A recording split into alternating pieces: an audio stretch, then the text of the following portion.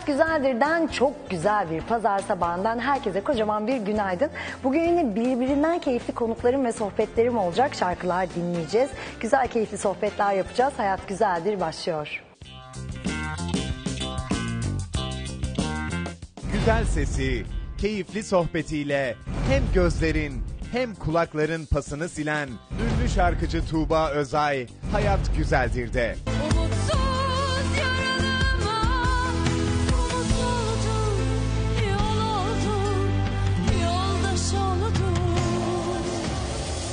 İlişkilere ve evliliklere dair ne varsa Hayat Güzeldir de konuşuluyor.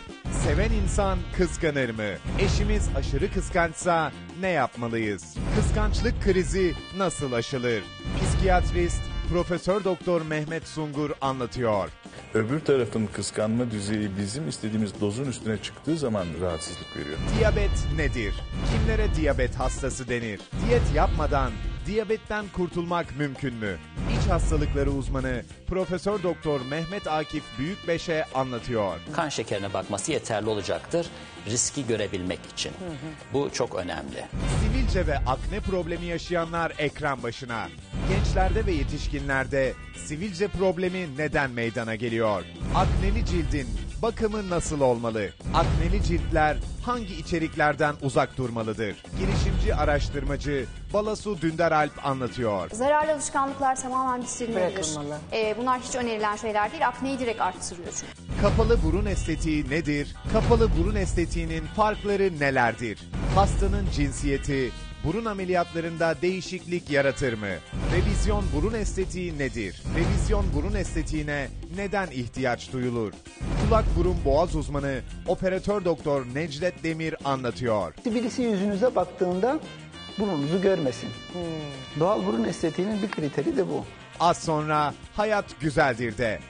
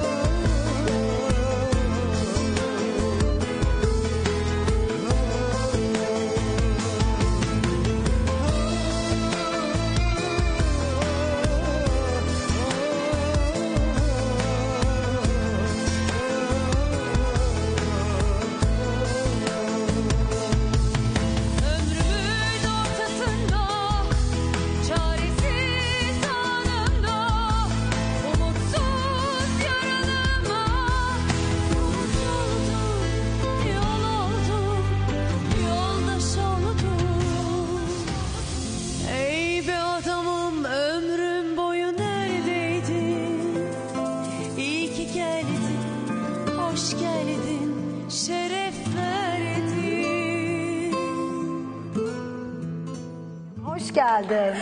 Çok Hemen teşekkür şöyle ediyorum. alalım. Hoş bulduk. Evet Hayat Güzeldir stüdyosunda Tuğba Özay konuğumuz ve Profesör Doktor Mehmet Sungur konuğumuz.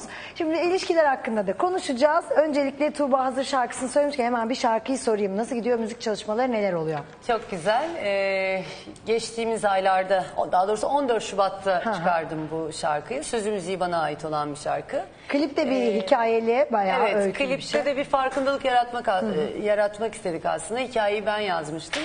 Banu Kaptanoğulları çekti. E, klipte rol arkadaşım sevgili Fatih Can Güven'e de ve tüm ekip arkadaşlarıma çok teşekkür ediyorum.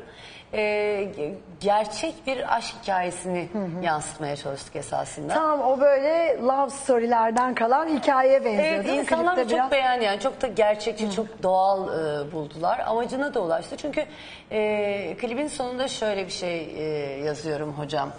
E, direncin ve umudun kaynağı sevgidir giderek sevgisizleşen bir dünyada Ne yazık ki. e, hep atarlı giderli şarkılar sözler vesaire ben de dedim ki hayır biz aşklı sevdalı Evet. şarkıları yazalım söyleyelim Pozitif bir şarkı. bunu Aslında klip yansıtalım. hüzünlü. Ee, evet hüzünlü ama finali çok güzel Evet. bitiyor, mutlu son. Ve e, çok güzel tepkiler aldım Özge. Özellikle bu hastalıkla mücadele Tabii eden ki. ya da Allah etmiş yardımcısı olan, olsun. bu hastalığı yenen e, çok insandan hatta saçsızlık hastalığıyla bile mücadele edip de işte İnsanlar. bir kadının sadece saçlarından sebep güzel olmadığını yansıttınız bize çok teşekkür ederiz diyen de Oldu. e, bu hastalıkla mücadele eden insanlardan da e, çok güzel tepkiler geldi. Ne güzel.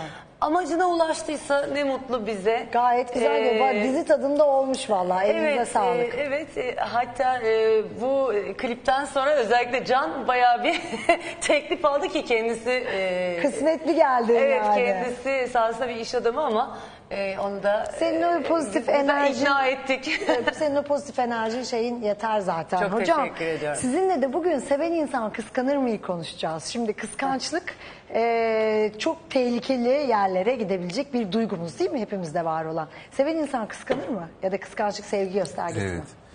Yani önce tabii iyi ki geldin, hoş geldin lafı e, son derece anlamlı. Onu Çok güzel, söylemek istiyorum. ederim. Yani ne gelirse gelsin ona misafir Doğru. gibi davranabilmek. Çünkü gelen şey iyi de olsa, iyi gibi görünmüyor da olsa gelen her şey bize yeni bir şey öğretiyor. Dolayısıyla onunla birlikte kalabilmek, protesto etmek yerine onu sindirebilmek aslında hayatın kendisi. Yani hayat sadece iyi şeylerin hissedildiği bir yer değil, bütün duyguların hissedildiği bir yer. Ve aynı zamanda bu tür sorunlar herkesin başına gelebilir. Dolayısıyla bunda da anlam bulun şeklinde bir ben anlam çıkardım sizin söylediğinizden. Onun için kutlarım. Teşekkür ederim. Ee, yani aşkın ve sevginin hemşireleri nelerdir diye baktığımız zaman yani bunlardan bir tanesi ayrılıklar biliyorsunuz. Araya giren engeller her zaman aşkı büyüten şeyler. Bütün Körüklüyor. aşk hikayelerinde körükleyici olarak karşımıza engeller çıkar. Engelleri aşar eşler, partnerler ve sonunda birlikte olurlar. O zaman da aşk biter mi? Biliyorsunuz bütün aşk masalları nasıl biter ve sonsuza kadar mutlu yaşadılar diye orada bitirir. Kimse Sonsuzu bize kimse ondan sonra- bilmiyor. evet, kimse bize onlar birlikte olduktan, evlendikten sonra ne olduğunu çok fazla anlatmaz. Muhtemelen niye anlatmaz? Bir, herkesin bildiği bir öykü için olduğu için mi? Yoksa bu öyküden çok anlamlı bir şey çıkmayacağı için mi? orayı bilemiyorum. Çünkü insanlar işte demin bahsedildiği gibi böyle bir takım hareketler falan, e, yani bir şey istiyorlar. Olay, hareket, aksiyon falan. Evet. Yani sıradan olmanın muhteşemliğini çok az insan fark ediyor. Yani sıradanlık muhteşemliktir. Çünkü Evet. hayatın kendisi bu anlamda baktığınız zaman yani çok daha basitleşiyor. Biz karmaşıklaştırıyoruz. Kıskançlık dediğimiz zaman bu da aşkın hemşirelerinden biri. Ama tabii dozu olması lazım. Yani sağlıklı sevgiyle sağlıksız kıskançlık arasındaki fark nedir? Çünkü Psikolojik bir rahatsızlık zaten sağlıksız kısma geçtiğinde Aynen değil mi? öyle. Yani bu sırf e, kıskançlık hastalığı değil o kişinin psikolojisinde kesin bir bozukluk var demek Kesinlikle. yani. Çünkü yani aslında gerçek sevgi e, gerçeklerle beslenir.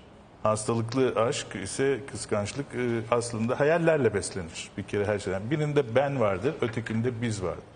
Birinde duyarlılık vardır, öbüründe şüphe vardır. Ya. Birinde merak vardır, öbüründe peşine düşme vardır.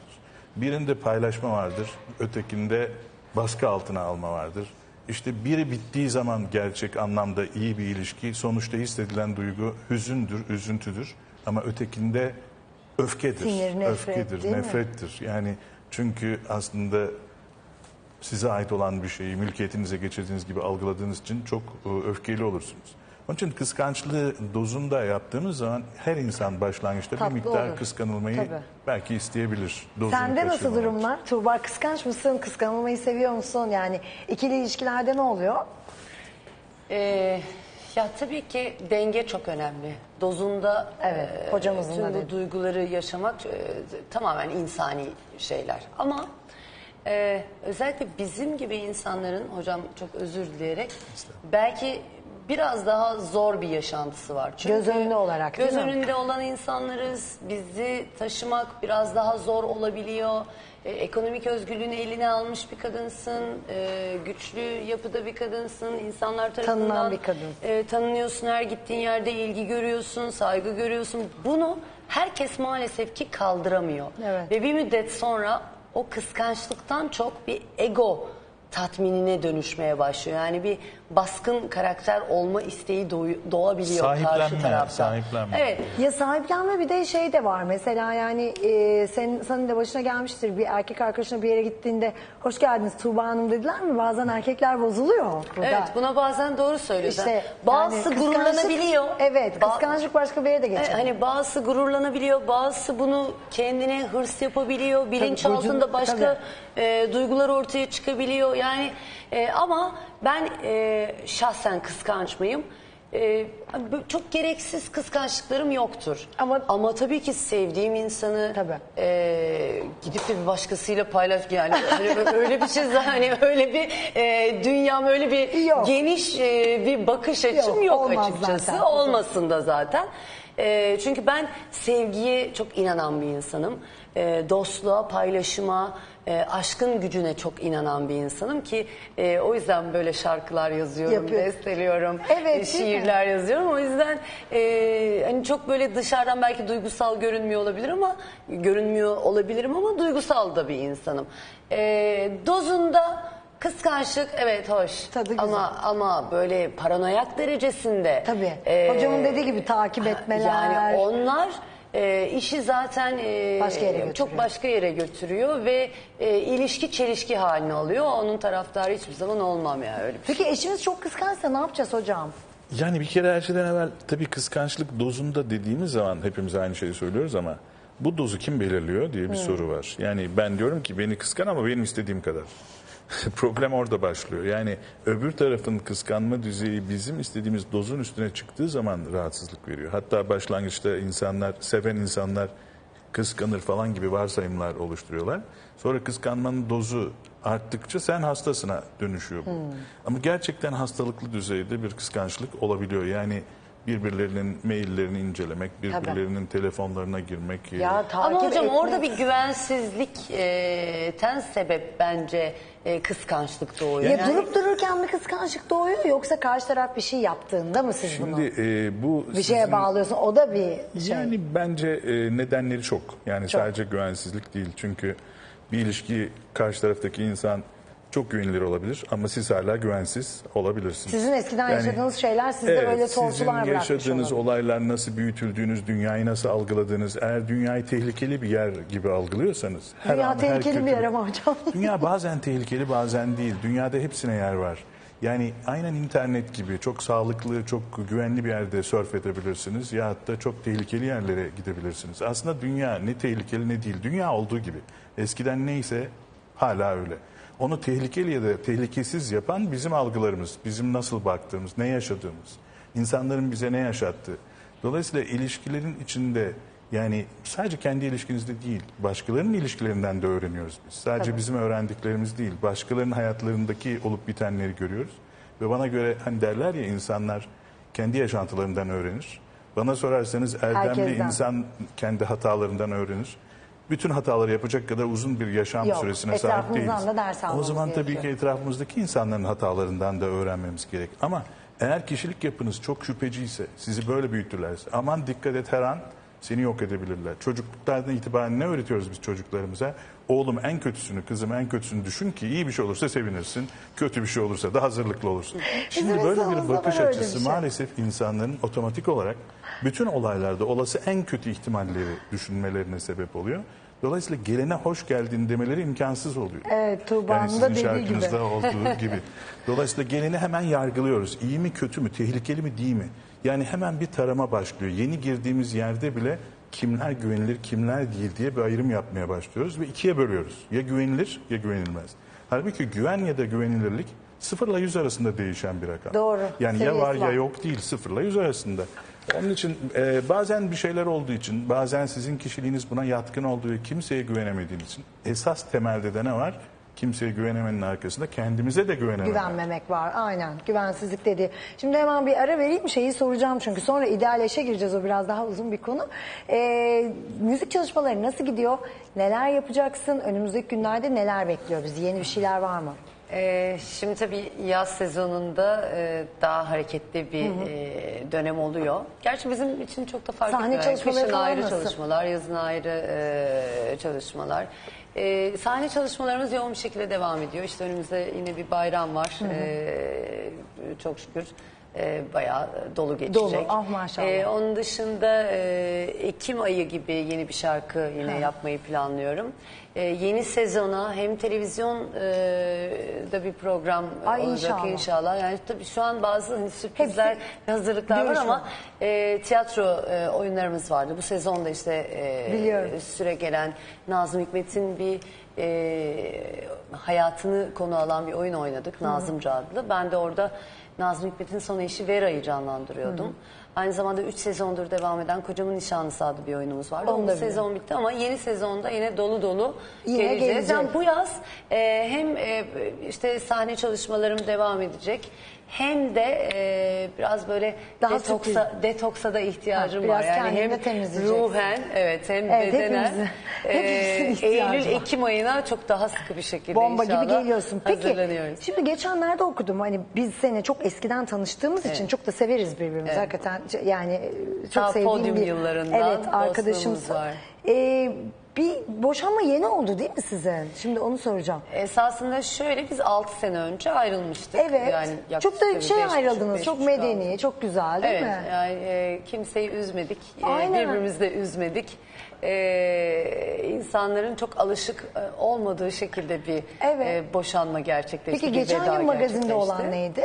E, şöyle e, biz e, normal şartlarda evet ayrıldık ama e, işte bir takım e, resmi e, Ha. durumlar söz konusuydu. Çünkü iki ülke arasında olduğu için biraz e, bazı prosedürler e, yani süreç aşamasında Uzun sürdü. Peki nasıl aranız?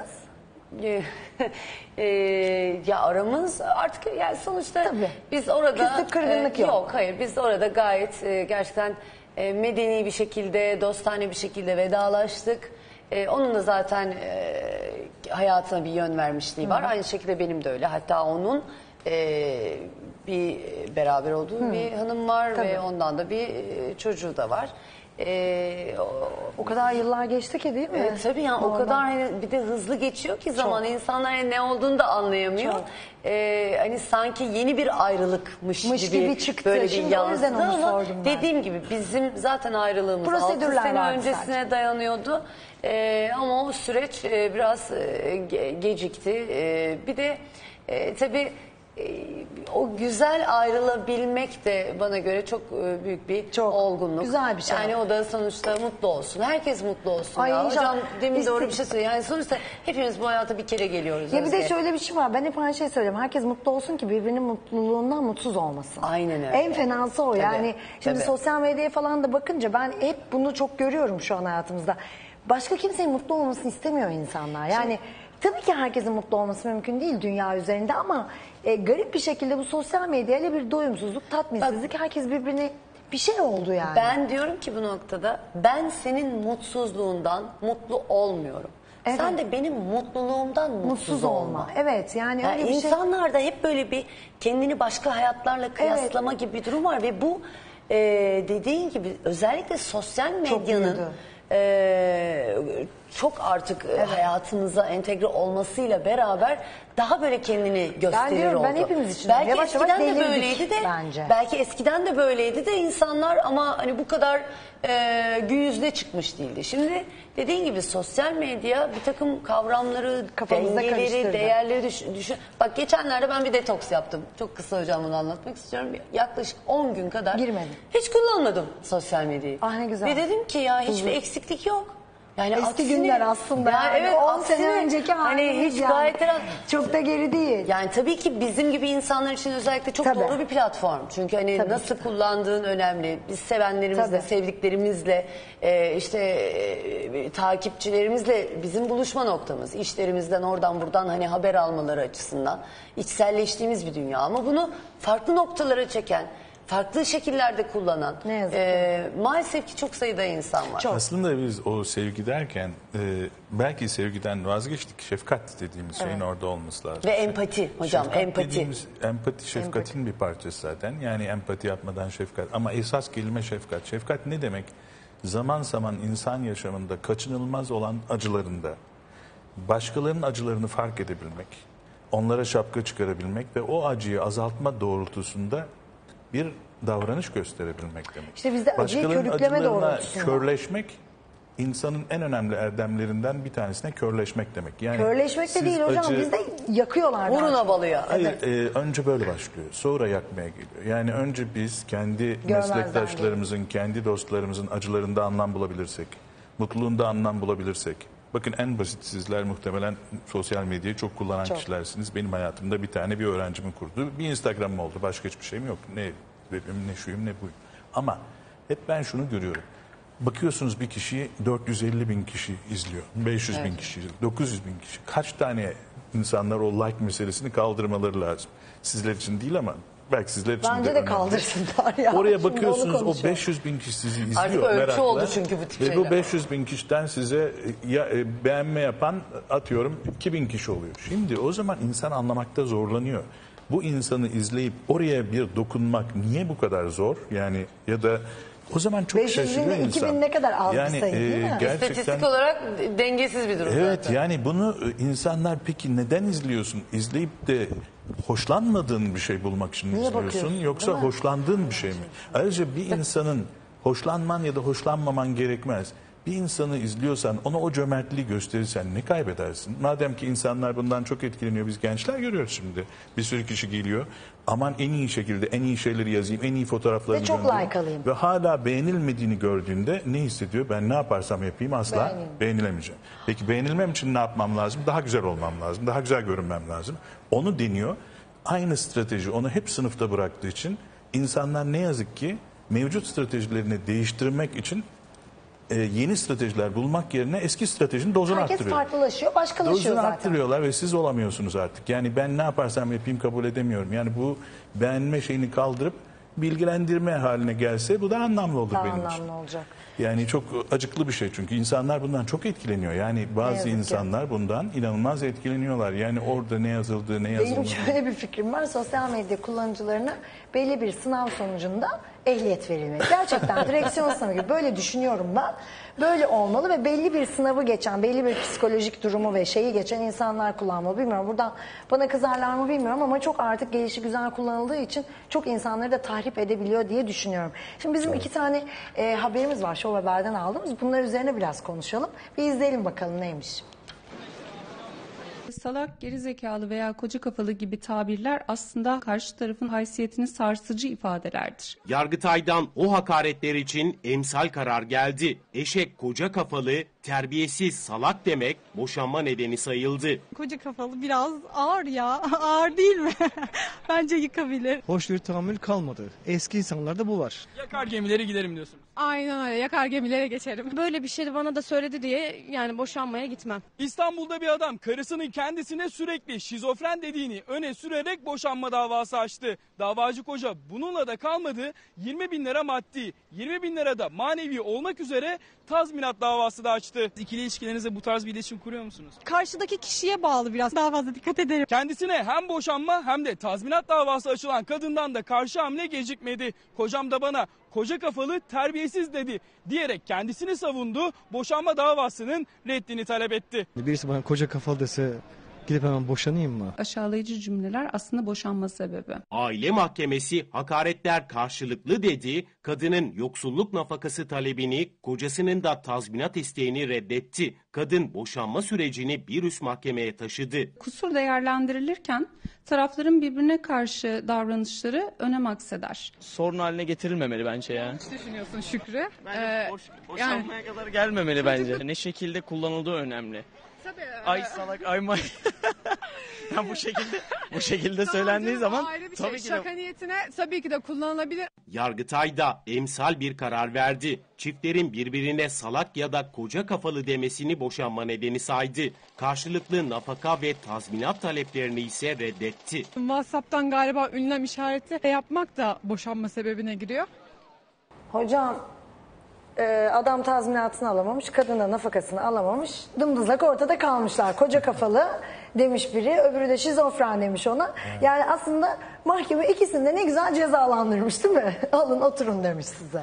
Yani aslında tabii e, bu yeni bir şey değil. Aslında e, şizofren, salak, kötü anne, kötü eş gibi laflar sözel şiddettir. Bunun altını bir Şiddet, kere tabii e, ki. çizelim. Yani kimsenin bir ötekini bir takım sıfatlarla yargılamak gibi e, bir şansı yok eşiniz bile olsa. Yani şiddetin sadece fiziksel olması gerekmiyor biliyorsunuz. Sözel şiddet var, şiddet. cinsel şiddet var, duygusal şiddet var, yoksun bırakma var. Şiddetin çok türü var. Yani e, bugün gelirken ne konuşacağımızı bilmeden gel ama çünkü çok güzel bir konu bu gerçekten. Dolayısıyla evet burada sözel bir şiddet var ama insanlar hata yapabilir. Hatalarından da öğrenebilirler. Dolayısıyla aslında ben hep şuna bakarım. E, sözün ne söylendiği değil nasıl söylendiği önemli bir. İki, kim tarafından söylendiği. Üç, onun ne söylediğinden benim nasıl Ya. etkilendiğim. Yani Orada diyor ya ay salak ay aptal çocuk çok tatlı. Ay salak ay aptal Şükrü. Yani e, bir kere niyet insanlar kelimelere bakın aynı lafı Ahmet söylediği zaman etkilenmiyorlar. Mehmet söylendiğinde etkileniyorlar. O halde laftan daha önemlisi lafın arkasında nasıl bir niyet gördüğümüz. Yani aşağılamak, değersizleştirmek gibi bir niyet varsa ve bu sık tekrarlıyorsa o zaman insanlar tabii ki görüntüde koca kafalı lafıyla gidiyor ama belki arkasında bir sürü birikim var. Dolayısıyla bir sözün sık tekrarlıyor olması anlamını değiştiriyor. İkincisi sözün arkasındaki niyet olayı etkiliyor. Üçüncüsü de duyanın bununla ilgili ne kadar etkilendiği. Yani şimdi insan sınırlarını iyi çizdiği zaman biz çocukken nasıl düşünürüz? Bize verilen değer kadar değerliyiz. Bize güzel şeyler söyleniyorsa iyi hissederiz. Kötü şeyler söyleniyorsa kötü hissederiz. Ama büyüdüğümüz zaman çocukluktan en önemli fark o eski denklemin yani ben eşittir bana söylenenin, ben eşittir bana verilenim denklemini bozup Tabii.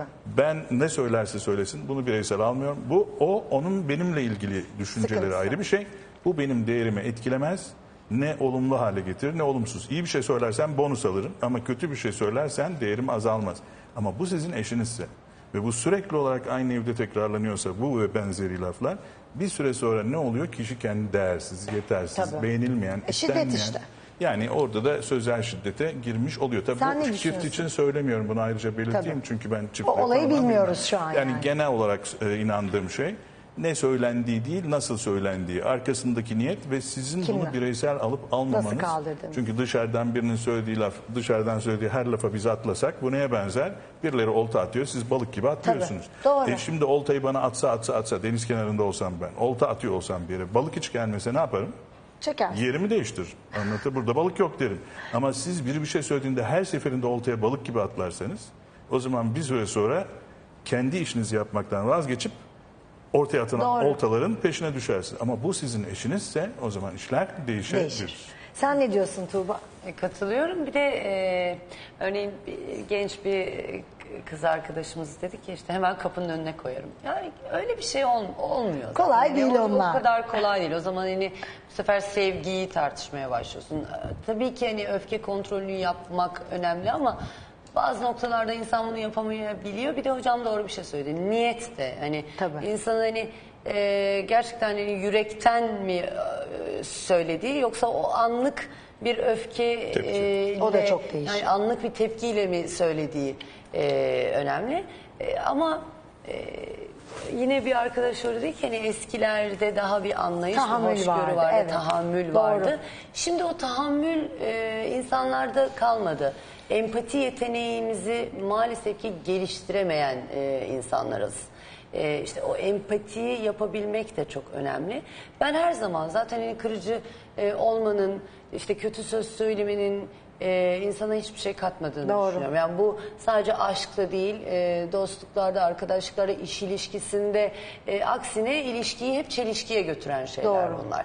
Yine hocamın dediği gibi yani şiddetin o kadar çok, e, farklı e, gösterim şekilleri var ki e, şiddetin her türlüsüne şiddetle karşı Karşıyız. çıkıyoruz. Aynen çok güzel söyledin. temel ülkemiz şiddete sıfır tolerans olmalı. Yani burada yani bütün ilişkilerde her şey Çeşitli kabul türü. edilebilir ama şiddet herhalde kabul edilmesi en zor Tabii. olan. İmkansız olan yani. Şimdi bir tane daha haberimiz var onu da konuşalım o zaman. Bu da enteresan bir haber. Ee, üzücü de biraz. Bir izleyelim bakalım. Ekmek parası istemek, yaşamak çok zor. Evim yok, barkım yok, param yok, bir şeyim yok. Neden bu insanlar bu kadar kötü? Neden? Her gün bu soruyu soruyor, kahrediyor. Nasıl olduysa oldu, evlilik vaadiyle gelen iki kişiye kandı. Hem kalbi kırıldı hem de parasından oldu. İki sefer dolandırıldım yani. Neden böyle yaptı bana? Fransa'da yaşayan Gülbeyaz eşi yok bir şiir sitesinde kendini vinç operatörü olarak tanıtan Osman Kara'yla tanıştı. İnternetten süren arkadaşlıkları eşi vefat edince daha da ilerledi. Bir şok yaşadım yani. Türkiye'ye geldim ki çünkü orada evin içinde her yerde onu görüyordum. Denize düşen yılana sarılır. İnsan inanıyor yani. Gülbeyaz eşi yok. Eşi vefat ettikten sonra başını sokabilecek bir ev alabilme hayaliyle kredi çekmişti. İşte o tanışmış olduğu dolandırıcı da kendisiyle evlenmek istediğini söyledi ve ondan 110 bin lira borç istedi. Evleneceğiz diyordu bana para istedi. Ben inandım ona. İnandırdı beni. O kadar inandırdı ki onun için ben de çektim parayı. Elimde olanı çektim verdim. İki ay sonra vereceğim dedi.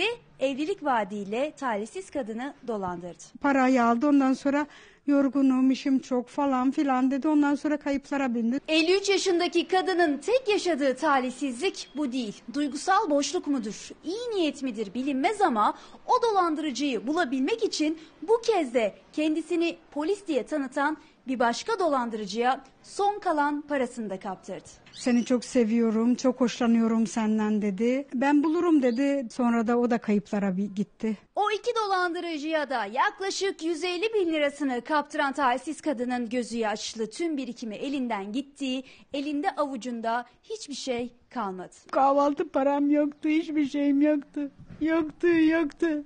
Ekmek parası istemek, yaşamak çok zor. Talihsiz kadın önce kalbini sonra paralarını çalıp kaçan dolandırıcılardan şikayetçi oldu. Yani şimdi burada ne kadar çok etken var değil mi? Eşini kaybetmiş. Bir kere orada bir duygusal boşluk, yalnızlık var. Sonra karşısına o adam çıkıyor, dolandırılıyor. Onun üstüne öbürü de seni kurtaracağım diye dolandırıyor. Yani talihsizlik var bu işin bir tarafında. Tamam yani hani... Fazla iyi niyet de var ama. Evet ama şey diyebilirsin hani bir insan iki kere aynı hata yapar mı diye haberi izlemeye başlıyorsun ama oradaki duygu durumunu görüyorsun aslında izlerken ve e, hakikaten de üst üste gelmesi inanılmaz bir talihsizlik. Hocam siz ne diyorsunuz böyle durumlar için? Yani ben önce burada insanın en temel ihtiyacı olan bağ kurma ihtiyacını görüyorum. Yani e, yalnızlık, tek başınalık çok zor iş. Bir de yurt dışında yaşıyormuş. Evet, tek başınalığı da birbirinden ayırmak gerek. Yalnızlık bir ihtiyaç, tek başınalık bir seçim. Biz nedense yalnızlıktan tek başınalığa geçemeyen bir toplumuz. Yani birinin eşi olmadan evvel önce kendin olmayı Doğru. öğrenebilmek. Bu tek başınalıktır, bu seçimdir. Yalnızlık ise ben yalnızım demek, ihtiyaçlarım var demek. Bir ihtiyaç. Tek başınalık bir seçim. Ha, ne güzel bir ayırma hep tek başınalığı öğrenmesi gerektiğini düşünüyorum insanların evlenmeden evvel. Önce tek başına olabilmeyi öğrenebilmesi.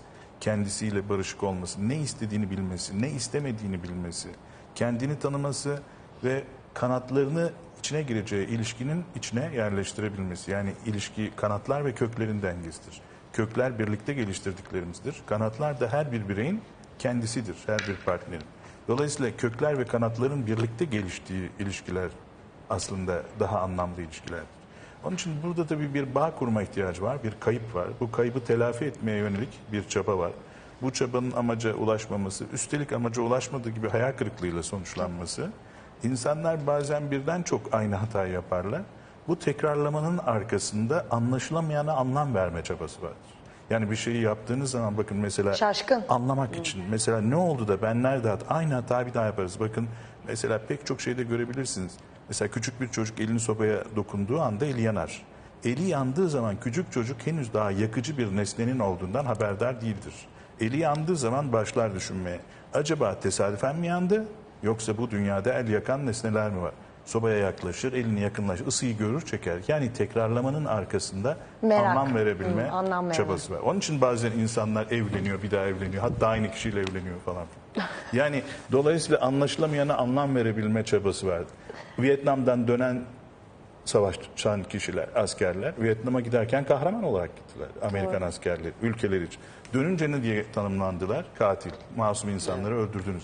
Şimdi bu insanlar kahraman olarak gittiği yerden aslında katil diye döndükleri zaman bu yaşadıklarına anlam veremedikleri için savaşlara lanet ederken bir de bakıyorsunuz ki bir başka para, savaşta paralı asker olarak tekrar Tabii. oraya gidiyorlar. Tabii. Yani insanlar bazı hataları tekrar tekrar yapınca belki oturuyor ama umuyoruz ki e, yani daha Yapmayalım. Evet yani, Yani ama burada bir hatadan çok bir güvenin oluşması için acele etmemek e, Evet. altını çizmek. Yani güven Acele denilen şey etmemek. ya var ya yok değil. Güven yavaş yavaş gelişen. Sen ne diyorsun bu hata durumuna? Şimdi ilki hatadır, ikincisi kazadır, üçüncüsü tercihtir. Ee, evet serzenişini çok iyi Evet. anlıyorum. Hani çok insani duygular. Bir de kadınların e, hormonal durumları da Tabii. çok farklı işleyebiliyor. Özellikle belli bir yaştan, Yaştan sonra belli tabii. bir dönemlerde çok daha farklı duygu durum bozukluğu yaşayabiliyor. Hani tü- bu görüntüleri izlerken bunları da düşünerek düşünüyorsun. izledim açıkçası. E, çünkü sorguladım. Yani hani bu kadar e, iyi niyetli olmak, hani bu kadar e, yine sizin dediğiniz gibi hani yalnız kalmakla tek başına yani yalnızlıkla tek başınalığı ayırt etmek lazım. Hani insan e, güçlü de durmalı. Yani o e, tek başınalığı da Tabii. yaşamalı. İlla bir yere sığınmaya gerek yok. Çünkü ne kadar çok bir yere sığınmaya çalışırsak O kadar güçsüzleşiyoruz. O kadar e, üzülmeye başlıyoruz. E, o kadar güvenimiz sarsılıyor. Ne İşte e, güçlü durabilmek de o yalnızlığı yaşayabilmek, o tek başınalığı tek başınalığı yaşayabilmek de çok önemli. Çok Çünkü önemli. Hocam çok güzel ayırdı onu. e, ya evet tek başına. ve bir müddet sonra bakıyorsun ki zaten güçlenmeye başlamışsın. Ondan sonra daha doğru e, Tercih seçimler, yapabiliyorsun. daha doğru tercihler yapmaya başlıyorsun. Geçmiş olsun. e, Çok geçmiş olsun, gerçekten evet, İyi niyetli bir insan olduğu da belli. en yakın zamanda Ama, biner. e, Sorumlular da bulunur. İnşallah parasına da kavuşur diyoruz yani. Yani umarım buradan. çünkü Tabii, dediğim gibi adalet bütün her şey. İnşallah. kaza olur, hata olur ama bundan sonra tercihleri Dikkat umarım doğru lazım. olur. Çok teşekkür ediyoruz. Tuğba hem teşekkür sana, ederiz. hocam hem size çok teşekkürler. Çok keyifli bir sohbet oldu gerçekten. Çok kısa sürdü. Evet kısa sürdü. Doyamadık. Zaman- zamanımız bu kadarmış. Bir daha inşallah görüşürüz. Hocam İnşallah. zaten ara ara bizi kırmıyor geliyor. Seni de yeni şarkında bekliyor Tamam, olacağız inşallah. çok teşekkürler. Teşekkür Hayat güzeldir devam ediyor. Kapalı burun estetiği nedir? Kapalı burun estetiğinin farkları nelerdir? Hastanın cinsiyeti, burun ameliyatlarında değişiklik yaratır mı? Revizyon burun estetiği nedir? Revizyon burun estetiğine neden ihtiyaç duyulur? Kulak burun boğaz uzmanı operatör doktor Necdet Demir anlatıyor. Birisi yüzünüze baktığında burnunuzu görmesin. Doğal burun estetiğinin bir kriteri de bu. Şimdi Hayat Güzeldir de. Hayat Güzeldir de şimdi de stüdyomuzda yanımızda kulak burun boğaz uzmanı operatör doktor Necdet Demir var. Hoş geldiniz. Merhabalar, hoş bulduk. Hocam bugün sizinle burun estetiği konuşacağız. Burun estetiği herhalde dünyada ve Türkiye'de en çok yapılan estetik operasyonlardan biri değil mi? Evet, Ee, ülkemizde de dünyada da en çok yapılan e, e, estetik operasyonlardan biri burun estetiği. Bu konuda ülkemiz özellikle e, dünyada başı çeken ülkeler arasında yer almakta. Evet yurt dışından çok hasta geliyor değil mi bizim hekimlerimize burun yaptırmak için? Kesinlikle. E, güzel bir şey bu. Sadece çok hasta gelmiyor, aynı zamanda çok doktor geliyor buraya eğitim e, amacıyla gelen. E, gurur verici bir şey Türk tabii. cerrahların geliştirdiği teknikleri öğrenmeye gelen pek çok e, meslektaşımız da oluyor yurt dışında. Ne güzel. Peki kapalı burun estetiği nedir? Şimdi biz e, burun estetiğini kapalı açık olarak ikiye mi ayırıyoruz? Evet. Burun estetiği teknik olarak e, iki farklı şekilde yapılabilir. Bunlar e, açık teknik ve kapalı teknik. E, dış görünüş olarak bu ikisinin birbirinden farkı burun orta hattımızda şurada bir kesi olup olmaması. Bu görünen kısmı ama içeride mutfakta olan e, farklı şeyler de var. Yani şimdi Kapalı- kapalı burun estetiği dediğimizde nereden giriliyor? burun deliklerinin içinde bir takım kesiller yapılarak dışarıdan görünmeyecek yerlerde e, kesiler yapılır. Daha sonra bunlar buradan dikilir. Dışarıdan herhangi bir kesi bir şey görünmeden burun şeklimiz düzeltilmiş olur. Aynı seansta nefes alıp vermemiz de düzeltilmiş olur. Bu kapalı burun estetiği. Bunu önden keserek yaparsak açık burun estetiği. Peki ikisinin arasındaki tercih edilme e, durumları neler? Yani neden mesela kapalıyı ya da açığı tercih ediyor hekimler? İki e, faktör var bu konuda. Birincisi cerrahın tercihi, ikincisi hastanın tercihi. Her zaman hastanın tercihi kapalıdan olur doğal olarak. Daha daha az iz olan e, yöntem seçilir. Cerrahın tercihini belirleyen pek çok faktör var. Bunların en önemlisi cerrahın tecrübesi ve bilgisi. Kapalı burun estetiği konusunda tecrübeli, o konuda kendi daha iyi hisseden cerrahlar daha ziyade kapalıyı tercih eder. Açık burun estetiğini e, daha çok yapabilen, bu konuda eğitimlerini almış cerrahlar açığı yapar. Asıl amaç açık ya da kapalı yapmaktan ziyade iyi bir sonuca ulaşmaktır. Ama mümkünse buna kapalıyla ulaşmak daha iyidir doğal olarak. Tabii kapalı aslında hani hasta içinde daha konforlu oluyor Kesin- tahminen değil mi? kesinlikle. Peki mesela iyileşme süreçleri arasında falan fark var mı? Var, var. İyileşme süreçleri arasında da kapalı burun estetiğinde daha e, hızlı, daha konforlu bir iyileşme var. Bunu belirleyen en önemli faktör burnumuzun ortasında e, seyreden damarlar. Bu damarların kesilmemiş olması iyileşme sürecini ve şişliklerin daha hızlı ilerlemesini sağlıyor. Buna ek olarak burun sırtımızda burun cildi ile burun kıkırdaklarını birbirine bağlayan bir takım bağlar var. Bunlar çok eskiden beri adı konulmuş şeyler ama son 5-10 sene içerisinde bunların anlamının ne olduğu, buruna nasıl bir şey kazandırdıkları ortaya çıktı. Kapalı burun estetiğinde bunları koruyoruz. Açıkta koruyamıyoruz. Açıkta yeniden onarıyoruz ama hiçbir zaman kapalı kadar, e, orijinali kadar iyi işlev sağlamıyor. Bize ne katıyor bu? Daha hareketli bir burun ucu, daha doğal bir görüntü, e, ameliyat hissi yaşamamış bir burun, e, daha sonra burnumuzu tamamen kendimize aitmiş gibi hissetme, ameliyat olmamış gibi bir görüntü elde etmemizi sağlıyor. Doğal burun estetiğine buradan bağlanabiliriz. Doğal burun estetiğini e, yapmamızı sağlıyor. Biz Doğal ne- burun estetiği dediğimizde ne anlamalıyız biz peki? Doğal burun estetiğini e, kastettiğimizde şunu anlıyoruz. Bir kere nefes alıp verecek bir burun. Siz de bir de kulak burun boğaz uzmanı olduğunuz için önceliklerden biri de doğru nefes alabilmek değil Kesinlikle mi? nefes her şeyin e, başında gelir diye Kesin. düşünürüz burun için. İkincisi birisi dışarıdan baktığınızda baktığında sizin e, ameliyatlı olduğunuzu düşünmesin. Hmm. O Bunu- biraz az bulunuyor hocam yani Bunu- yanlış mı düşünüyorum? Ben anlıyorum ya da Haklısınız. bilmiyorum. çoğu, çoğu anlaşılır ama diğer bir kısmı anlaşılmaz. Bir kısmını biz dahi anlamayız. Çok iyi Öyle mi? kapalı teknikle çok koruyucu davranmış davranılmıştır. Bahsettiğim bağlar çok güzel korunmuştur.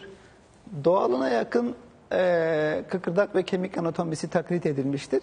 Dokununca anca onları alınabiliyoruz. İkincisi birisi yüzünüze baktığında burnunuzu görmesin. Hmm. Doğal burun estetiğinin bir kriteri de bu.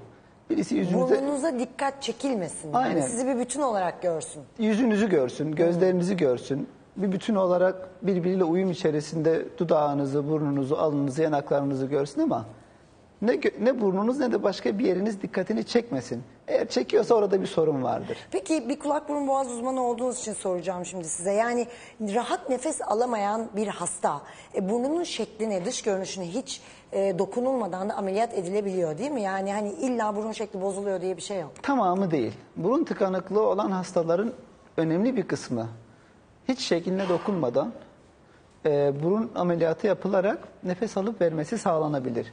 Ama bir kısmının e, şekline dokunulmadan, estetik yapmadan nefes alıp vermesi pek mümkün olmuyor. Bu burnun taşıyıcı organlarında olan bir sorun e, olduğunda şekille birlikte yapmamız lazım. Ne demek? Burnun ön kısmı, ön bir santimlik kısmı burnu taşıyan kısımdır ve üst kısmı burnu taşıyan kısımdır. Burada bir eğrilik varsa, bir sorun varsa şekline dokunmanız lazım. Dokunmuyorsanız ameliyattan sonra o burun ya çöker ya da nefes almamaya devam eder. Tabii içinde bir şey değişince hani burnuna da mutlaka müdahale etmek gerekiyor. Peki şimdi genelde e, görmediğim sorulardan sormak istiyorum. Şimdi burun estetiğinde çene burun uyumu önemli, önemli. midir? Şimdi genelde bunu çok konuşmuyoruz biz sizden bir öğrenelim. Çok önemli ama sadece çene burun olarak düşünmemek lazım. Burun yüzün tam ortasında. Kilit taşı gibi bir organ. Tamamıyla uyumlu olması lazım. Dudaklarınızla, elmacık kemiklerinizle, alnınızla ve çenenizle. Bunların tamamı çok önemli. Birisiyle uyumlu olmayan bir burun e, yapay olduğunu, orada dikkat çektiğini hemen bize gösterir. Gözümüze batar bir sorun olur. Bir de şöyle bir şey var. Farklı çene yapısına sahip iki e, simada aynı burnu yaparsak birisinde burun gereğinden fazla uzunmuş gibi görünür. Birisinde daha küçük görünür. Örnek Mutlaka olarak fark eder. kesinlikle örnek olarak eğer çene öndeyse siz küçücük bir burun yaptıysanız o yüzde çok ufak görünür. Eğer e, çene gerideyse siz normal bir burun yaptıysanız zaman da büyük görünür. büyük görünür. Çeneyle uyumlu olması lazım bu anlamda. Ya çeneye müdahale edilmesi lazım Ya burnu. ya başta burnun çeneyle uyumlu yapılması Peki lazım. burun sırtı eğriliği görme sıkıntısı yaşatır mı? Yaşatmaz. Yok. Yaşatma. o kadar değil. O kadarını hiç O henüz kadar- görmedik. hayır, o kadar değil. Hekimler olarak diyorsunuz. Biliyorsunuz dünyanın en en büyük burnuna sahip insanı ülkemizde yaşıyor. Öyle mi? Evet. Aa, e. Guinness Guinness Rekorlar kitabına girmiş biri. bilmiyordum kaç santim? Şu an aklımda değil ama e, Bayağı bir santim. bayağı uzun Guinness Rekorlar kitabına girmiş biri. E, ve gayet iyi görüyor. Gayet iyi görüyor. Sıkıntısı Burnunu da yok. seviyor. Ne güzel maşallah diyelim. Peki hemen bir de kısaca revizyon burun estetiği nedir ondan bahsedelim. Ya, Revizyon burun estetiği bir kere niçin olur onu düşünmek lazım. Ameliyatlarımızın bir kısmı revizyona gidiyor. Ben tamamen ameliyat e, yüzde yüz başarıyla yaparım, hiç revizyonum olmaz demek mümkün değil. Eğer hiç revizyonum olmaz diyorsanız ameliyat yapmıyorsunuzdur. Çünkü yaptığınız teknik kadar iyileşme sürecinde yaşanan sıkıntılar da revizyona sebep olabiliyor. İyileşme sürecinde neredeyse bir seneyi buluyor değil mi tam bir burnun? Evet evet bir seneyi buluyor. Doğru. Ee, bu süreçte herhangi bir sorun gözümüze batan burunda bir çıkıntı, bir girinti, bir çöküntü, herhangi bir eğrilik, canımızı sıkan, gözümüze batan bir şey tespit ettiğimizde oraya bazen lokal, baz- bazen de daha büyük bir müdahale yapıyoruz. Bir düzeltme ameliyatı yapıyoruz. Buna revizyon deniliyor. Peki o zaman her burun estetiği revizyon ister diyebilir miyiz? Genelde Hayır, genel çoğu, diyemeyiz. çoğu revizyon istemez. Ee, hani- Ama bu bir risktir, bir olasılıktır. Kesinlikle bu bir risktir. Cerrahın bunu kabul etmesi ilerleyen zamanlarda belki bir sene sonra e, bir revizyon yapacağını bilmesi, ona göre hastasını kontrollere çağırması, hastasına destek olması ve hastanın Hasta da için de daha iyi. hastanın da bu riski bilip yüzde yüz garanti olmadığını bir sene sonra belki küçük belki daha büyük bir müdahale gerekebileceğini bilmesi lazım. Bu şekilde ameliyata girmesi ikisi için çok daha iyi olacaktır. İlla ameliyatla mı revizyon yapılıyor yoksa işte dolgu maddeleri ya da başka yöntemlerle de yapılabiliyor mu? Ya dolgu maddeleriyle de yapılabiliyor. Ee, dolgu maddelerin en büyük dezavantajı geçici olmaları. Kalıcı olanlar pek tercih edilmiyor günümüzde. Çünkü e, alerjik reaksiyonlar ve istenmeyen sonuçlar karşısında elimiz kolumuz bağlı Bağlanıyor. kalabiliyoruz. Dolayısıyla geçici olanlar tercih edilir. Tabii ki dolgu malzemeleriyle de yapılabilir. Bir takım ilaçlarla bazı yerlerdeki şişlikler e, yok edilebilir. E, bazen de cerrahiye gere- e, gerek duyarız. Bazen bu cerrahi lokal bir anesteziyle ufacık bir müdahaledir. Bazen Peki, yine ameliyathane şartlarında. Revizyon ameliyatı daha mı geç iyileşir yoksa normal bir burun estetiği gibi midir? Ee, lokal küçük bir müdahale yapıyorsanız çok daha erken iyileşir. Yine baştaki gibi standart bir ameliyat yapıyorsanız baştaki gibi bir senede Aynı şekilde iyileşir. fazla bir şey olmaz yani. İyileşmeyi en önemli engelleyen faktör sigaradır. Bu arada onu da söylemiş Sigarayı olayım. zaten hiç içmiyoruz. Sigarayı- Hani her şeye zararlı ameliyatta da olduğu gibi. Hocam çok teşekkür ediyoruz.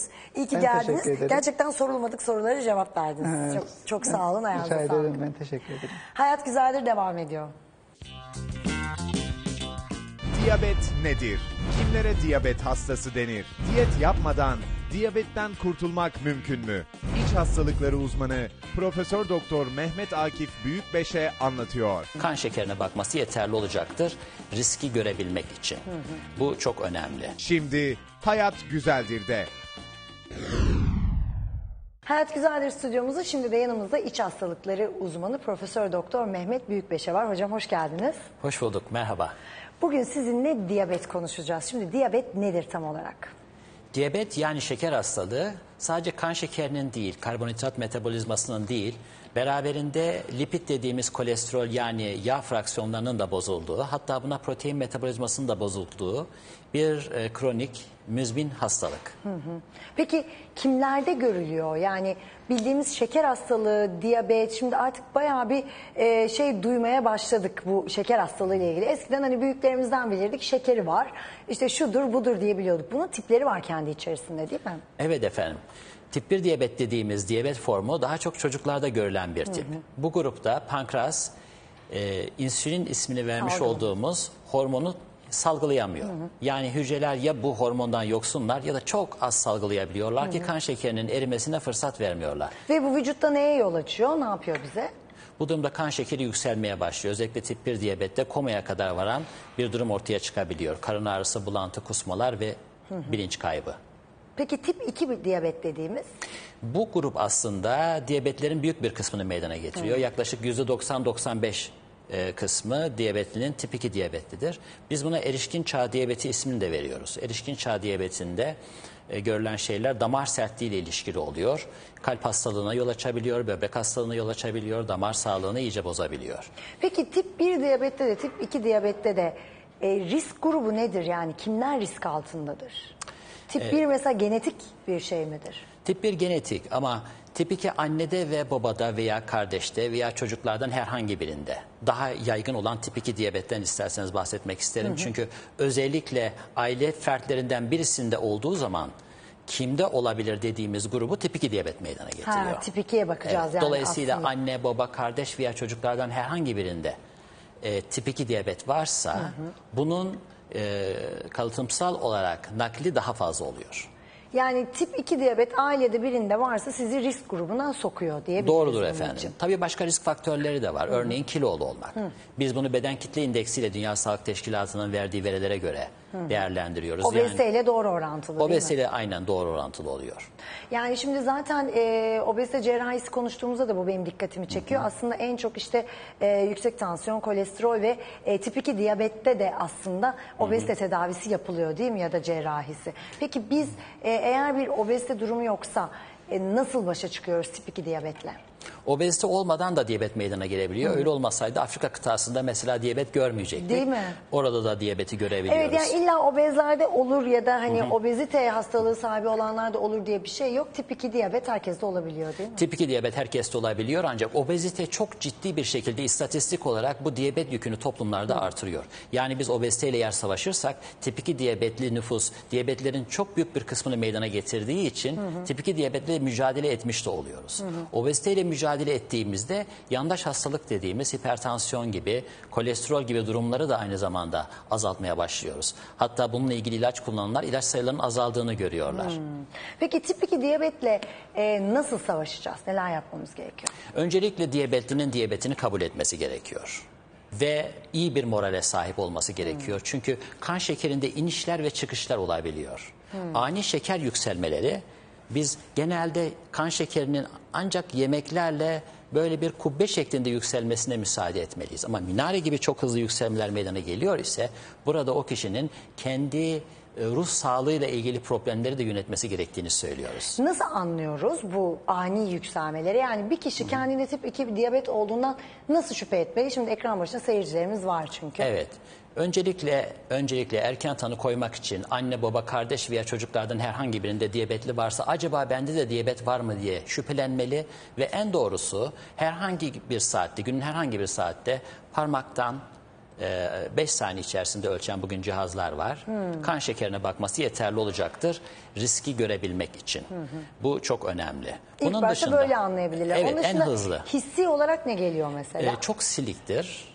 Ee, örneğin çocuklarda büyüme gelişme geriliği olabiliyor ama bu bir süreç. Hmm. Altını ıslatma olabiliyor. O yaşta hala altını ıslatmaması gereken çocuk altını ıslatabiliyor. Aa, böyle bir Evet. şeylere teşhis edilebiliyor. Teşhis edilebiliyor. Veya daha önce geceleri artık lavaboya kalkmayan birisi geceleri lavaboya kalkmaya başlıyor. Hmm. Yani e, oluktan akarcasına idrar çıkarmaya başlıyor mesela. Peki çok su Bunların- içme mesela. çok su içme de görülebiliyor. Ancak yapılan bugünkü istatistik sonuçları çok ilginç. O yüzden e, sessiz katil diye de isimlendirilebiliyor bugün diyabet maalesef. Hiçbir belirti olmaksızın sadece basitçe bir yorgunluk hissediyorum. Son zamanlarda kendimi yorgun hissediyorum sayısı. Çok su içme, çok idrar çıkma. Bayağı bir sinsi yani. Evet yani kilo kaybı gibi öteki eski ezbere bildiğimiz ve söylediğimiz çokça tekrar ettiğimiz belirtiler olmaksızın da karşımıza çıkabildiğini bugün bilmemiz gerekiyor. Peki bir sinir, agresyon tipi şeyler de yapıyor mu? O da genelde böyle kulaktan duyduğum bir şey benim. Evet doğru duymuşsunuz bunları yapabiliyor Ha, maalesef. Öyle sinir, sinirlilik falan da yapabiliyor. Peki diyabetli olanların bazıları sadece insülin kullanırken bazıları hem hap hem insülin kullanıyor. Bunun aradaki farkı nedir? Neye göre bir tedavi? Çok önemli bu söylediğiniz soru için teşekkür ediyorum.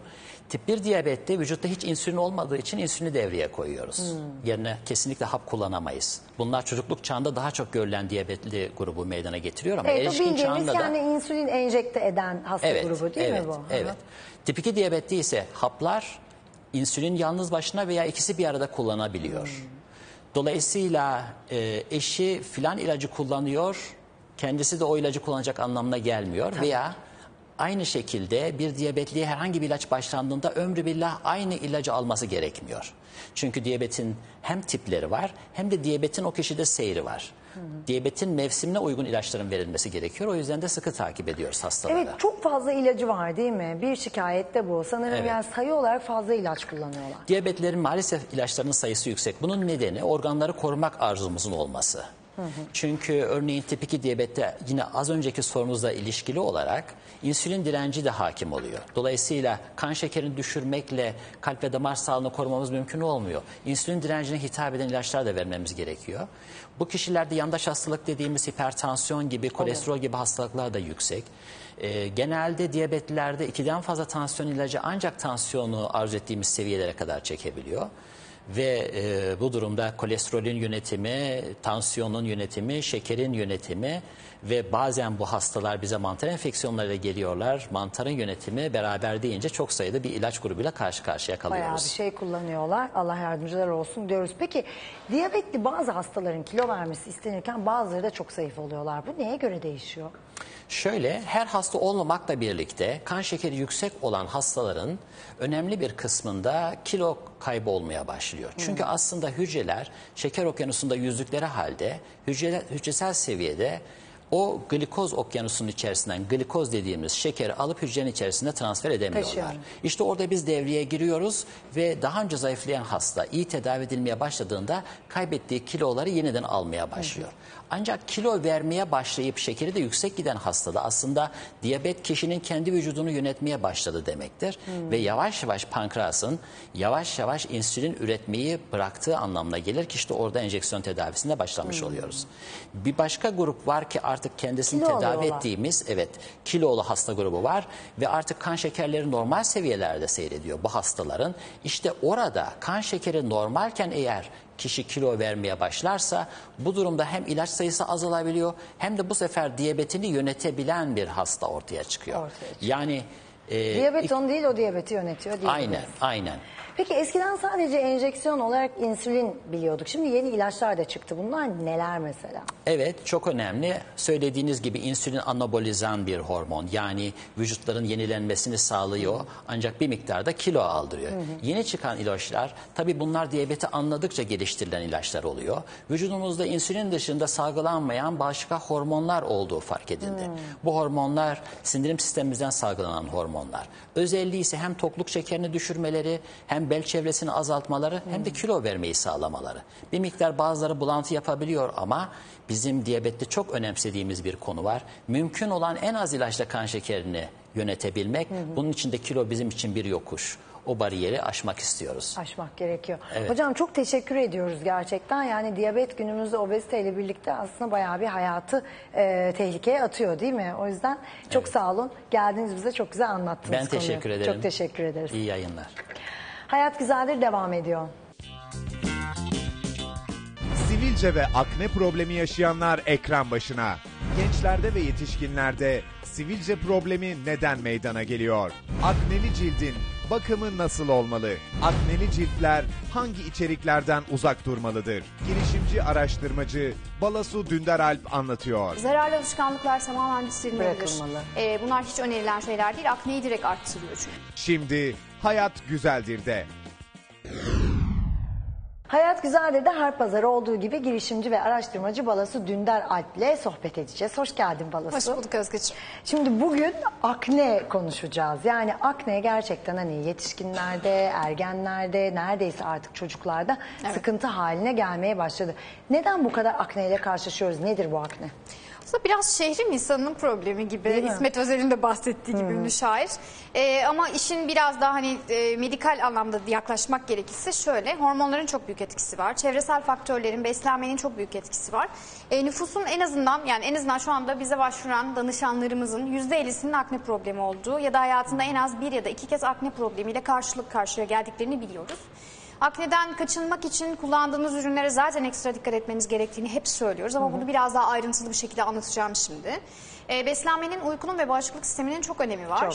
Ee, mesela kişinin bağışıklık sistemi eğer gerçekten de zayıfsa ve programında bir hata varsa, dönem dönem bozuluyorsa, uykunuz eksikse, stres altındaysanız, stres zaten birçok e, yani aslında insanda en önemli şey şu anda metabolizmada büyük problem. Akneler için de tetikleyici başta stres, Stres. sonra cildi stres faktörleriyle e, bu hale getiren işte bazı etmenler var. Bende hep stres mesela cildime Yansıyor. etki ediyor ya da bağırsaklarıma etki ediyor. Yani E, Zaten çok biri. yakındır ikisi birbirine. Aynen. Çünkü bağışıklık sistemi aslında hem bağırsaklar, ikinci beynimiz dediğimiz hem de cildimiz. Cildimizdeki mikrobiyotanın da bozulması aynı şekilde. Mesela bazı dönemler yüzünüzü sadece suyla yıkarsınız. Hiç dikkat ettin mi bilmiyorum. E, c- yani zerre kadar cildinizde bir sorun gerçekleşmez. Ama bazı dönemlerde cildinize çok güzel şeyler sürersiniz. Hiçbir Çok- şey. Ama nedense akne vardır. E, bunun tespitinde şöyle bir durum var. Bir defa sıcaklık, şu anki mevsim. Şimdi etkili. Benim her yaz mutlaka işte çene bölgemde bir ya da iki tane böyle büyük, işte gayet acılı, kırmızı, kapatmakta dahi zorlandığım e, sivilcem çıkıyor. Mutlaka. Yani şu anda da mesela geçmeye başlamış bir tane var yüzümde ama Anladım. geçmesi de uzun zaman alıyor. Ben dikkat ediyorum hep yazın. Yazın tetikleniyor bu. Yazın ısı ve bakteri ak- e, faaliyetleri çok daha yüksek. Yani bakteri aktivitesi nasıl? E, ısıyla şekilleniyor. Bakteriler hızla çoğalıyorlar. Ve buna yol açan bakterinin uzaklaştırılması için günde iki ya da üç kez yüzünüzü yıkacak bazen vakit bulamıyorsunuz. Önerilen şu, e, saçları kesinlikle arkadan toplamak. Saç kremi bu dönemde kullanmamak. E, çünkü sadece yüzde olmayabiliyor. Sırtta da kollarda da gerçekleşebiliyor. Evet. Ve saç kremleri içerisindeki silikonun da temasla yine akneye yol açtığını biliyoruz. Ee, işte parfümlerin de aynı şekilde iritan, alerjen özellikleri var. Bazen akne gibi görünebiliyor durum ama bir alerjik indikasyon da olabiliyor. Ee, ve cildinizi muhakkak çok düzgün bir probiyotik içerikte temizlemelisiniz Temizlememiz diyoruz. Çünkü gerekiyor. içerisindeki faydalı bakteriler zararlı bakterilere karşı savaşabiliyor. Ve cildin enflamasyon yani bu ısı dediğimiz sürekli patlayan, bu sebum salgısını arttıran, yağ salgısını arttıran bu aktif dönemindense daha sakin olmasını beklemek için probiyotikli bir içerik, probiyotik köpükler çok güzel kullanılabilir. Kesinlikle cildin e, sakin tutulmasında, temiz tutulmasında volkanik özlerden de faydalanabiliyorsunuz. E, volkan tüflerinin de aynı şekilde volkanik maskelerin de sakinleştirmede önemi var. Mesela gece yatmadan sürersiniz çok küçük bir e, aknenin üzerine sürersiniz. Ertesi sabah yatışmış olarak kalkarsınız. Oradaki sebum salgısının yağ yani işte bu yağ salgısının e, tam olarak kıl kökünde gerçekleşen ve hücreyi art, e, ısıtan, çoğaltan bu bölgedeki enflamasyonların baskılanmasında bunlardan faydalanabilirsiniz. Fakat yine ergenlerle yetişkinler arasında bazı farklar Bazı var. farklar var değil mi? Evet. Yani şöyle e, yetişkinlerin çok daha e, sonuçta akne olmaması beklenir yetişkinler. 30 yaşından sonra cildin sakinleşmesi beklenir. Ben ergenliğimde hiç görmedim. Evet. Hiç karşılaşmadım. Yani benim de akne probleminin olduğu tek tük bile sivilcem çıkmadı. Benim ergenliğim pürüzsüz geçti. Ben böyle son 3-4 yıldır bunu yaşamaya başladım. Belki biraz hormonal hani düzensizlik de yaşıyorumdur bilmiyorum tam olarak. Onunla da alakalı olabilir. Şey de olabilir yani kapatıcı kullanıyoruz tabii. Yani şu bu sektörün... Gözenekler Evet. tıkanıyor. Gözenekler en son bir hekim arkadaşımızla da yani bunu tartıştık konuştuk. Kesinlikle gözenekler açık olacak. Biz makyaja biraz karşı duruyoruz. Tamam Evet. yayında biz de yapıyoruz şu anda mecburuz ama, hemen belki temizliyoruz. Ben de onun da etkisi var. Hani yazın da makyaj yapmak durumunda olduğum için belli Evet. günlerde belki o tıkıyor. Güneş kremleri tıkıyor. Hep bunu konuşuyoruz seninle sürekli. Bence yazın gözeneklerin tıkalı olması bende hani hormonal bir şey olduğunu çok zannetmiyorum. Sa- Tahminen ondan. Hayır yani bakıldığında gayet iyi görünüyor. Gayet güçlü, cildin de çok güçlü. Ama bu e, kullanılan malzemelerle alakalı. Bizim en çok yağ bazlı ürünlerle ilgili başımız belada aknede. E, özellikle gençler e, çok seviyorlar. YouTube'lardan izliyorlar, işte programlardan izliyorlar.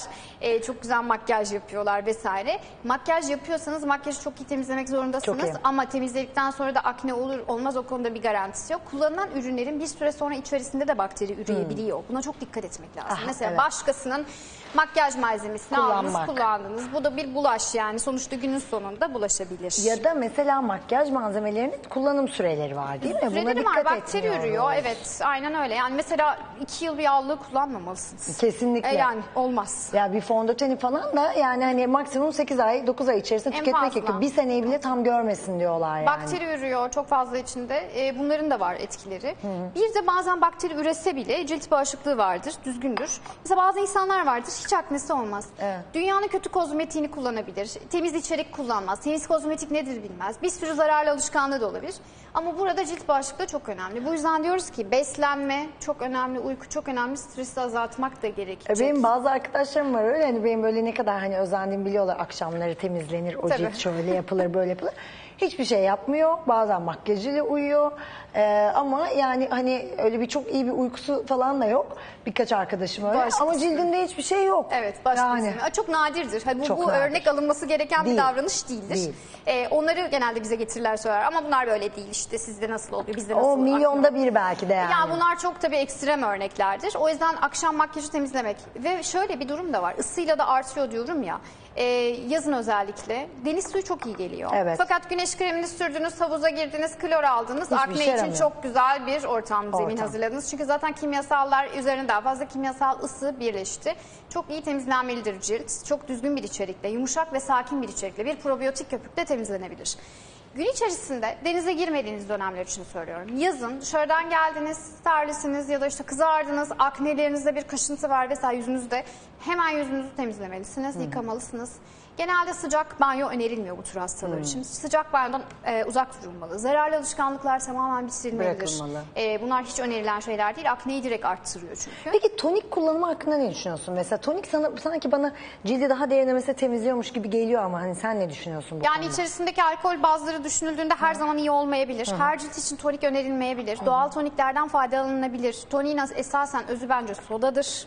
Ben öyle düşünüyorum. Evet soda, gül suyu Evet, falan da eğer saf gül ve suyu. doğruysa. Gerçek, gül suyu. bulabilirseniz evet. Çünkü gül biliyorsunuz artık çok pahalı ve işlenmesi son derece zor. Türkiye gülü yurt dışına gönderiyor. Oradan içerik işlenmiş olarak satın alıyor. Hem de euro dolar üzerinden satın Of. alıyor. O yüzden kullanılan içeriklerde ne kadar yüzde kaç, binde, on binde kaç bilemiyorsunuz. Çok düzgün içerik olması lazım. Önerdiğim sodayı da her zaman kullanmamalısınız. Hmm. Ciltte yağlanma arttığı zaman soda ile temizlikten sonra silinebilir ya da Hmm. soda ile yıkanabilir. E, tabii cildiniz çok hassas ve kızarıksa çok gazı biraz daha alınmış soda Hmm. çok daha mantıklı olacaktır. Mineraldir çünkü günün sonunda. Bir de tuzlu su formunu öneriyorum ben. Himalaya tuzun, tuzuyla da ilgili bir yazı yazmıştım. E, Himalaya pembe renkli tuzdan bir çözelti hazırlayıp akne hastaları aynı şekilde temizlikten sonra yüzlerine bu tuzlu suyu bir parça bekletebilirler. Sonra yıkayabilirler. E, deniz suyunun kendisi de çok faydalı olacaktır. Ama başta dikkat edilmesi gereken şey aknelerde kesinlikle petrol bazlı ürünler kullanmayalım. Kullanmayalım. Silikon bazlı ürünler kullanmayalım. Yağ bazlı ürünler kullanmayalım aknede. E, ve cildimize hasar verecek mesela tütün ürünleri, alkol bu tür şeyleri Tabii. asla önermiyoruz. Çünkü direkt arttırıyor. E, zaten diğerlerini saymıyorum. Bir de feritinin düşüşüne bağlı olarak yani kan değerlerinin düşüşüne bağlı olarak bazı hastalarda bazen bağışıklık sistemini etkilediği için de aynı şekilde ve B12'nin düşüşüne bağlı olarak da aynı şekilde çinkonun düşüşüne bağlı olarak da akne meydana gelebilir. Cildiniz e, sizin e, aynanız ve bunu takip etmelisiniz. Evet. Bir gösterge, cilt bir göstergedir ve takip etmeliyiz. Akne problemi başladıysa öncelikle hayatımızda yaptığımız her şeye dikkat edeceğiz. Tabii. Mesela baştan aşağı kimyasal kirlilik yaratan çok güzel banyo yaptınız sonra bir parfüm bir sıktık akne Gitti. hastasında kimyasal kirlilik böyle dışarı çıktınız ısıya maruz kaldınız. Bunların hepsi tetikleyici nedenlerdir. Bunların tıpkı alerjilerde olduğu gibi ortadan kaldırılması gerekir. Peki ergenlik sivilcesiyle 30 yaş üstü görülen sivilce aynı mıdır aslında? Nasıl değerlendirebiliriz? Şöyle değerlendiririm. Genelde 30 yaşından sonra başladıysa genelde bir şeye maruz kalıyorsunuzdur. Tabii hormonlarınızda da bir değişim olabilir. Bu yine bir gösterge. E, ama 13-14 yaşındaki bir e, ergenin sivilcelerinin olması kabul edilebilir bir durumdur. Çünkü Hı. hormonlar daha Sürekli henüz değişiyor. balans değildir, Tabii. daha dengede değildir. O yüzden e, onlar için önerim düzgün içeriklerle temizleme ve maske muhakkak 13-14 bile yaşı olacak olsa düzgün içeriklerle temizleme. Çok kimyasal ürünler kullanmadan volkanik özlerle mesela maskeler öneriyorum. E, ama yetişkinlerin e, tabii o yaşta bir makyaj vesaire söz konusu olmadığı Tabii. için çocuklarda yetişkinlerde önerimiz biraz daha artık kullandıkları ürünlere dikkat, Dikkat etmeleri. etmek. Hatta mümkünse bir kan testi yaptırmaları değerlerine baktırmaları doktor kontrolünde e, ne varsa ortaya çıkarılması gerekebilir. Akneyi biraz takip etmek gerekir bu anda. Akne bayağı takip edilmesi gereken bir şey yani. Ya bir Neden, zararı yok. nasıl? Ya bir zararı yok. Peki böyle hani değerlendirirler mesela çene çevresi ve şurada olanlar hormonaldir işte alında çıkan o bir değişiklik gösteriyor mu? Ya çok katılmıyorum açıkçası. Çünkü hani e, bu bir yatkınlık da olabilir. Eliniz sürekli çenenizde olabilir. Bu bir Ha. temas ve burada da bulaş yani yayılma oluyor olabilir. Tabii. E, eliniz sürekli alnınızdadır. Elinizi zaten hiçbir zaman yüzünüze değdirmemelisiniz akneler için. Kesinlikle sıkılmamalı, oynanmamalı. Ama yüzün farklı bölgeleri şunu işaret ediyor dediğiniz zaman tamam belki ufak bir gösterge olabilir. Ama genel olarak takip edilmesi gereken daha majör yani Daha büyük şeyler var. Bu budur, şu şudur dememek Evet yani lazım. kesin keskin ayrımları yok. Ee, sizde ne gibi bir problem oldu da akneye yatkın hale geldiniz? Bunu kesinlikle bir oturup düşünüp okumak lazım. Sonra Düşünmek bir lazım. önlemini almak lazım. Şimdi kısa bir aramız var sonra tekrar burada olacağız.